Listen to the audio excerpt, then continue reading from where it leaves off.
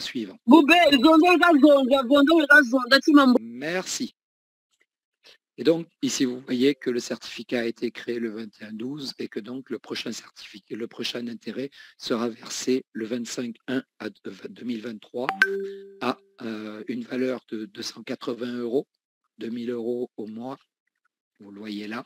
Donc, ça fera 280 euros qui seront versés le 25-12 à 22h09, heure de Londres.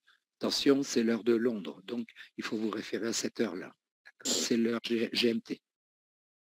Voilà, donc euh, au niveau des actifs, on va passer, alors la matrice, je laisse euh, de côté, on va passer à finance. finance